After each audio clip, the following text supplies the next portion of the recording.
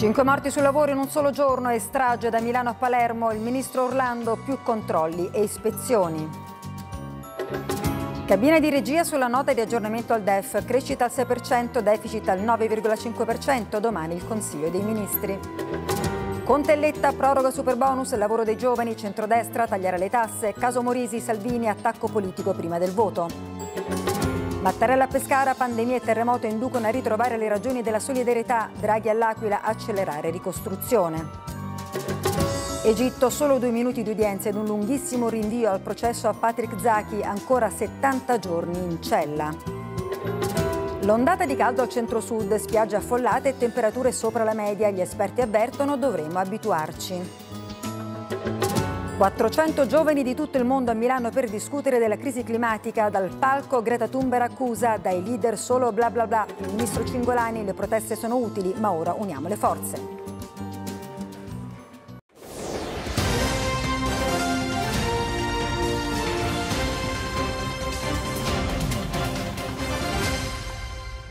Due operai morti investiti da una perdita di azoto all'ospedale Humanitas nel milanese, sempre oggi altre tre vittime a Padova, a Torino e a Palermo.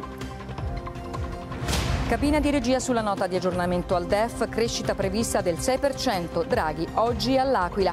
Il Premier lancia intanto la candidatura di Roma per Expo 2030. Zaki in manette nella gabbia degli imputati in Egitto resterà ancora in carcere. Udienza durata due minuti, processo aggiornato al 7 dicembre.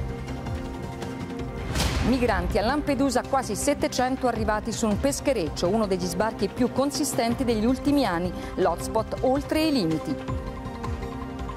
Presentate le opere che hanno arricchito il patrimonio artistico del Quirinale, quadri e oggetti di design, espressione della creatività italiana dal dopoguerra a oggi.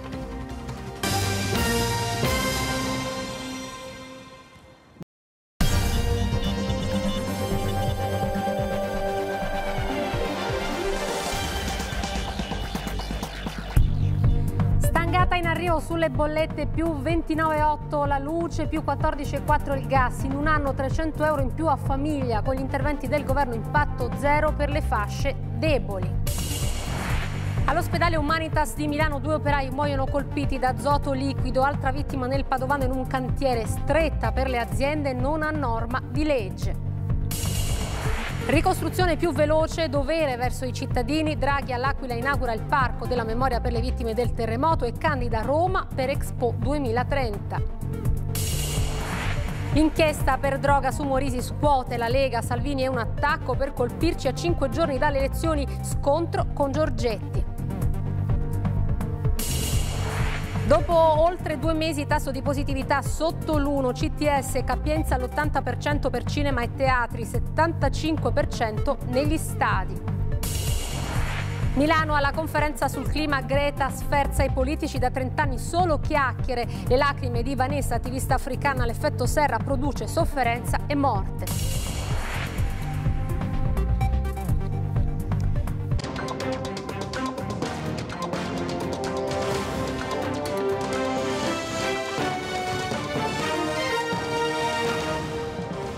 Due romeni fermati in auto alla vigilia di Ferragosto, il blitz nella villa e il sequestro di dosi di droga. Questi passaggi dell'inchiesta sull'ex social media manager della Lega Morisi avviata oltre un mese fa. Il procuratore di Verona ha fatto banale per l'autorità giudiziaria l'indignazione di Salvini sbattuto in prima pagina chi gli darà la dignità se il PD fa il pesce in barile, Renzi dichiara guerra al fango mediatico. Non faremo agli altri quello che è stato fatto a noi, ma gli avversari politici vanno all'offensiva, grillini in testa e sulla rete si scatena il linciaggio giustizialista. Il segretario del Carroccio, un attacco gratuito a cinque giorni dalle amministrative.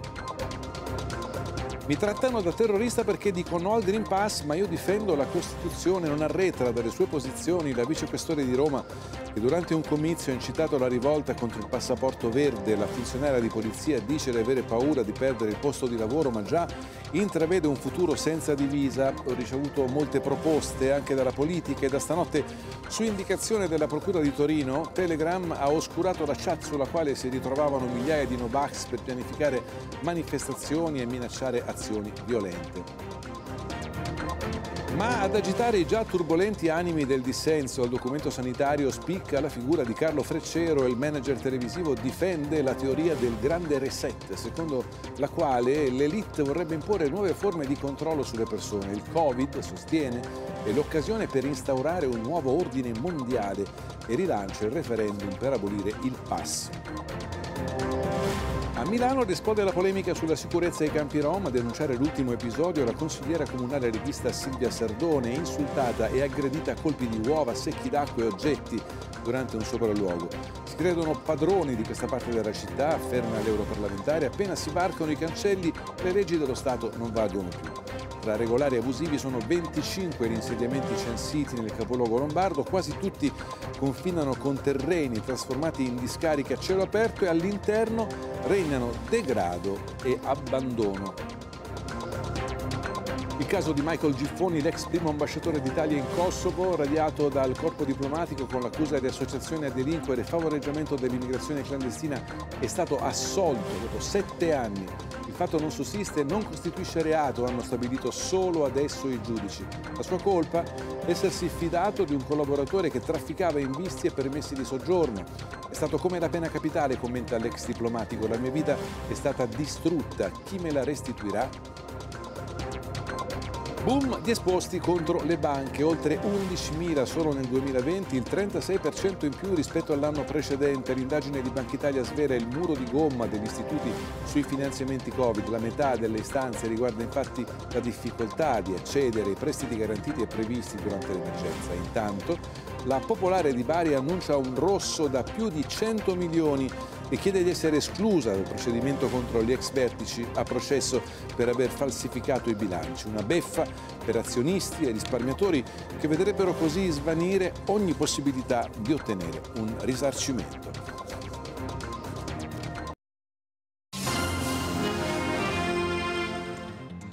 Buonasera a tutti, benvenuti a prima pagina. Vediamo come sempre i fatti principali della giornata. Oggi è martedì 28 settembre.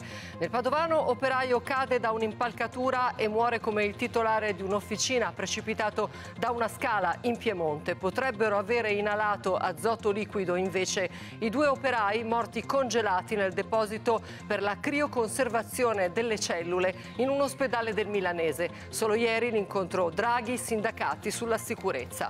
È battaglia nella maggioranza a pochi giorni dalle amministrative. Per Conte la Lega fa correre rischi al governo. Replica Salvini, non ce ne andremo. Non faremo questo favore a 5 Stelle e PD.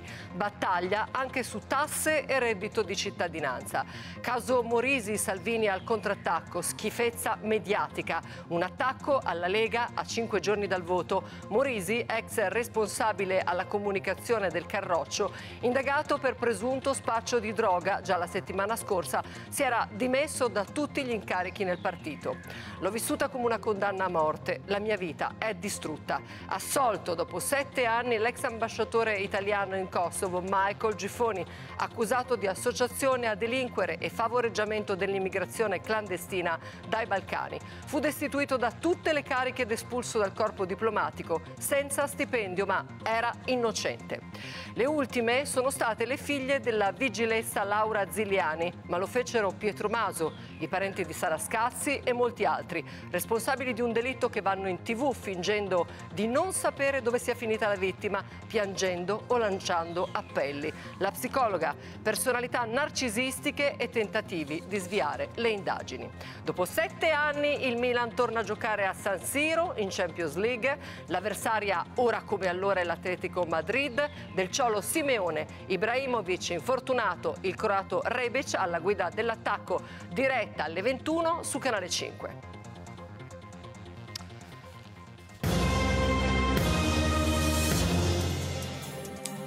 Luce più 29,8%, gas più 14,4%, questo è l'aumento record delle bollette da parte dell'Autority di regolazione per l'energia per i consumatori in tutela, valido per il quarto trimestre del 2021. L'intervento del governo ha ridotto l'impatto che poteva essere addirittura eh, fino al 45% per l'elettricità e oltre il 30% per il gas, ma comunque anche così l'aumento per una famiglia media è per il prossimo trimestre di 300 euro. Altre cifre, altre percentuali. Il governo prevede per quest'anno una crescita del PIL del 6%, il deficit al 9,5%. Sono numeri migliori del previsto, quelli emersi dalla cabina eh, di regia a Palazzo Chigi sulla nota di aggiornamento del documento di economia e finanza che domani sarà sul tavolo del Consiglio dei Ministri. Il governo prorogherà anche fino al 2023 il super bonus del 110%. Matteo Salvini al contrattacco, tenta la sortita perlomeno sulla vicenda di Luca Morisi, il suo ex spin doctor indagato per cessione di stupefacenti. È una schifezza mediatica, afferma, un attacco gratuito alla Lega a cinque giorni dal voto, una tempesta politica c'è, da Salvini due pesi e due misure, dice Conte, dal PD eh, il vice segretario Provenzano parla di doppia morale del segretario leghista. È di Giorgia Meloni la prima mossa di un leader di partito nella partita per il Quirinale. Non voterei un bis di Mattarella, ha detto la leader di Fratelli d'Italia. Uno che pesa perché un eventuale secondo mandato eh, dell'attuale Presidente eh, sarebbe in, in, realtà possibile soltanto con il consenso di eh, tutti, che ora non c'è. Brunetta intanto lancia la candidatura di Draghi. Sulla crisi climatica dai leader mondiali arrivano solo bla bla bla. Così, in maniera eloquente, oggi eh, Greta Thunberg a Milano ha una riunione attesissima di giovani ambientalisti provenienti da tutto il mondo. Le emissioni continuano a aumentare, stanno uccidendo i nostri sogni, vogliamo giustizia, ha detto la Thunberg, alla quale ha teso la mano incontrandola il ministro Cingolani. Sono proteste utili, lavoriamo insieme per trovare soluzioni. Vedremo.